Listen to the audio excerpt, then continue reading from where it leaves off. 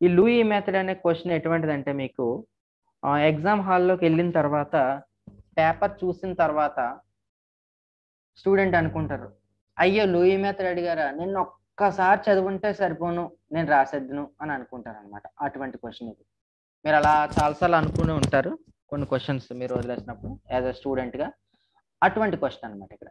Louis method అనేది ఏం చెప్తుందంటే Laue method the Laue method is use to determine determination of a single crystal single crystal అనమాట అంటే మీరు సెవెన్ క్రిస్టల్ సిస్టమ్స్ ఉన్నాయి కదా. సిటిఓఆర్ హెచ్ఎంటి చెప్పాను కదా. క్యూబిక్ టెట్రాగోనల్ అందులో ఏ కేటగిరీ బేసిక్ సైజ్ అనేది చెప్తుంది అనమాట the experimental arrangement consist of source of x rays దీనికి ఎక్స్రేస్ కావాలి pin hole collimator crystal holder and photographic film ఇవి మనకు కావాల్సినవి ఈ experiment first source of x rays. అంటే ఒక డివైస్ ఉంది అది ఎక్స్రేస్ని తయారు చేస్తుంది అనమాట ఇవి ఇలా వచ్చి పిన్ హోల్స్ లోంచి వెళ్తున్నాయి. ఒకవేళ స్కాటర్ అయిన ఉన్న ఎక్స్ట్రాగా రాకుండా వెరీ థిన్గా ఇలా పడాలండి. ఇది క్రిస్టల్ హోల్డర్. ఈ హోల్డర్లో క్రిస్టల్ పెడతాం.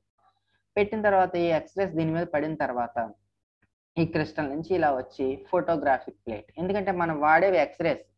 లైట్ అనుకోండి గోడ మీద లేజర్ బీమ్ అనుకోండి ఫ్రింజెస్ ఇలా పడిపోతాయి గోడ మీద. బట్ ఇది ఎక్స్రే కాబట్టి ఇలా వచ్చింది. ఇప్పుడు ఎలాగా? The source produces x rays of short wave length ఎంతంట? Zero point two నుంచి టూ యాంగ్స్ట్రామ్స్ ఉండాలి. కానీ మనం ఎంత యాంగ్స్ట్రామ్స్ వాడుతున్నాం ఆప్టిక్స్లోని? వేవ్ ఆప్టిక్స్లో? నియర్లీ సిక్స్ థౌజండ్ యాంగ్స్ట్రామ్స్ వాడుతున్నాం. బట్ ఇక్కడ ఎక్స్రేస్ కాబట్టి zero point two to two angstroms which are allowed to pass through slit systems S one and S two రెండు స్లిట్లు తీసుకున్నాను. అది ఇంత దీంట్లోంచి పాస్ అయ్యేది అది ఇంకా థిన్గా ఉంటుంది అనమాట become fine and sharp beam షార్ప్గా ఉండడానికి అనమాట this beam is allowed to incident on ఈ క్రిస్టల్ క్రిస్టల్ మీద పడేలాగా మీరు దీన్ని ఏర్పాటు చేయండి. చేస్తే incident crystal place crystal holder crystal హోల్డర్లో పెట్టిన క్రిస్టల్ మీద పడేలాగా ఫోకస్ చేయండి. Then after passing through crystal x rays diffracted x rays అనేవి డైఫ్రాక్ట్ అవుతాయి. And recorded on photographic plate ఈ ఎక్స్పెరిమెంట్ అంతా ఎక్కడ జరగాలి మనకి? డార్క్ రూమ్లో జరగాలి. అంటే మన కళ్ళు కనిపించినంత చీకట్లో ఈ ఫోటోగ్రాఫిక్ ప్లేట్ పెట్టి మనం బ్లాక్ పేపర్ ఓపెన్ చేసి దాన్ని లోడ్ చేసి ఫిల్మ్ని ఇట్లా పెట్టి ఒక్కసారి స్విచ్ ఆన్ చేయగానే ఎక్స్రేస్ ఇలా పడి ఆగిపోతాయి అంతే.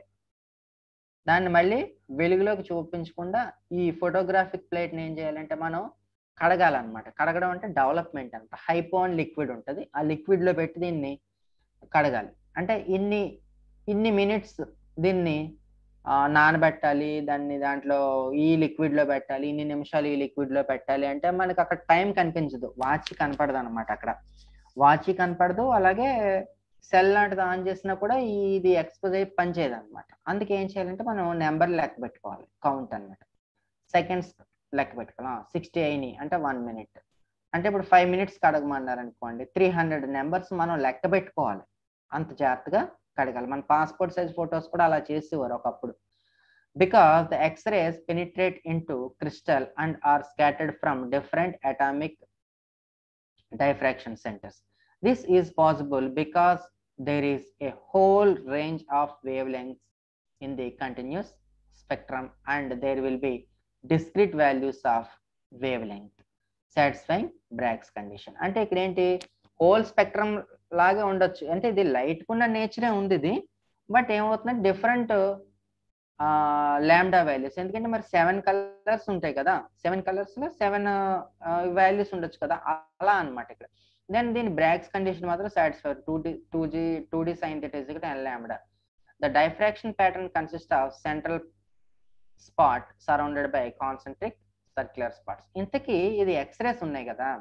ఈ ఎక్స్రేస్ యొక్క నేచర్ ఏంటని తెలియదు. రామ్జన్ అనే సైంటిస్ట్ కనిపెట్టారు ఇట్లా కనిపెట్టినప్పుడు నేచర్ ఏంటి అని అందరూ ఆశ్చర్యపోతే అప్పుడు ఏమనుకున్నారంటే ఓకే డైఫ్రాక్షన్ లాగా మనం గ్రేటింగ్ పెడదాం అనుకున్నారు. గ్రేటింగ్ పెడితే పని అవ్వలేదు ఇక్కడ. గ్రేటింగ్ మధ్య డిస్టెన్స్ ఎక్కువ అనమాట అందుకే ఎన్ఏసిఎల్ అనే ఏదో క్రిస్టల్ తీసుకున్నారు.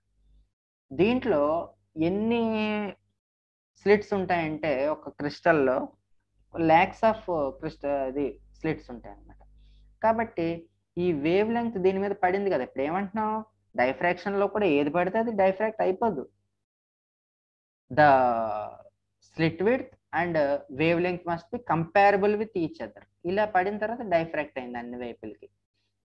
ఇక్కడ చూస్తే మిడ్ పాయింట్ పెద్దది ఉంది.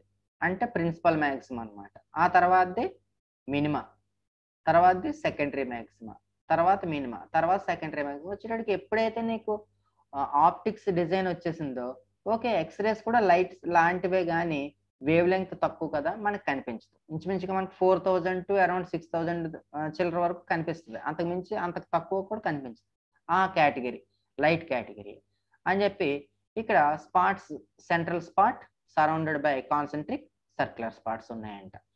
దెన్ ఇక్కడ దీన్ని ఈ ప్యాటర్న్ ఏమంటారు? లూయి ప్యాటర్న్ అంటారు అనమాట దీన్ని లూయి డిజైన్ ఇది. ఈ spot in the Laue pattern corresponds to the interference maximum for a set of crystal planes satisfying the Bragg's condition for particular wave length scattered from the instant beam, the atomic arrangement can be understood from a study of the position of intensities of Laue's parts అంటే ఈ Louis parts ఇలా వచ్చేస్తే ఇవి diffraction లా ఉంది. X-rays ఏమో light లాంటివి అని చెప్పడం కాదు. ఈ స్పాట్స్ ఈ స్పాట్స్ మధ్య ఉన్న గ్యాప్ ఇది ఈ క్రిస్టల్ ఏ టైప్ అనేది చెప్తుంది అనమాట అంటే ఇది బీసీసీయా ఎఫ్సిసియా ప్రిమిటివా అనేది చెప్తుంది. అలాగే ఈ ప్లేన్స్ ఉన్నాయి కదా ఇవి? క్రిస్టల్లో ప్లేన్స్ ఉంటాయి కదా? ఆ ప్లేన్స్ యొక్క డిస్టెన్స్ కూడా మనం చెప్పొచ్చు అనమాట నానోమీటర్స్లో యాంగ్స్ట్రామ్స్లో చెప్పొచ్చు అనమాట లూయి స్పాట్స్ యొక్క అరేంజ్మెంట్ని బట్టి మనం ఈ మెటీరియల్ క్యారెక్టరిస్టిక్స్ ఏంటి అనేది చెప్పొచ్చు అనమాట from this method it is possible to find lattice constant A and the interplanar spacing మనం కట్టాం చూడండి హెచ్కేఎల్ ప్లేన్స్ అని కట్టాం కదా ప్లేన్కి ప్లేన్కి మధ్యన గ్యాప్ ఇది. లాటిస్ కాన్స్టెంట్ అంటే ఇది ఒక క్రిస్టల్ తీసుకుంటే యూనిట్ సెల్ తీసుకుంటే ఆ యూనిట్ సెల్ యొక్క డైమెన్షన్స్ అన్నమాట. దీన్ని దానికి కన్వర్ట్ చేస్తాం అనమాట ఇది ఏదో లెంగ్త్ ఏ ఏదో బ్రెడ్త్ ఏ ఇది హైట్ ఏ ఇలా అనుకుంటున్నాం కదా. ఈ ఏ అనే వాల్యూ ఎంత? ఎన్ని నానోమీటర్స్ ఎన్ని యాంగ్స్ట్రామ్స్ అనేది కూడా ఈ స్పాట్స్ని బట్టి మనం చెప్పొచ్చు అనమాట the Laue method is used for the determine the structure of single crystals. Structure of single crystals only. There are many materials for which impossible to obtain single crystals of required size for such materials, powder photography suitable ఇక్కడ single క్రిస్టల్కి మాత్రమే మనం find out చేయగలం. Multiple crystals ఉంటే మనం చేయలేము అనమాట combination okay so ఇక్కడ ఏంటంటే ఆ స్ట్రక్చర్ అనేది చెప్పొచ్చు. అంటే హెక్సాగోనలా లేకపోతే ట్రైక్లినిక్ మోనోక్లినిక్ ఏంటి అందులో మళ్ళీ టైప్స్ బీసీసీయా ఎఫ్సిసియా ఏంటి అనేది కూడా సింగిల్ క్రిస్టల్ అయితేనే చెప్పగలుగుతాం అనమాట వేరే మెటీరియల్ మిక్స్ అయితే ఇది మనం చెప్పలేమన్నమాట. అంటే ఇక్కడ దేన్ని బట్టి ఇక్కడ మనం ఇది క్రిస్టల్స్ ఉన్నాయి కదా ప్లేన్ ఐడెంటిఫై చేయమన్నాం కదా మనం. ఇలాగ ఒక క్రిస్టల్ తీసుకుని ఈ క్రిస్టల్ యొక్క ప్లేన్ మనం ఐడెంటిఫై చేయమంటే ఏ యాంగిల్ ప్లేన్ అనేది కూడా చెప్పొచ్చు అనమాట ఇట్లా మనం. సపోజ్ ఏదో వన్ జీరో వన్ అన్నారు అనుకోండి ఇలా ఈ క్రిస్టల్ తీసుకుంటున్నాం కదా మనం ఐడెంటిఫికేషన్ ఆఫ్ ప్లేన్స్లో. సో ఈ ప్లేన్ ఎట్లా ఉంటుంది అనేది ఈ ఈ స్పాట్స్ని బట్టి కూడా మనం ఈ ఐడెంటిఫై చేయొచ్చు అనమాట దీంట్లో. ఇది లూయి మెథడ్ అనమాట సింపుల్ మెథడ్. ఓకే? చాలా ఈజీ ఇది.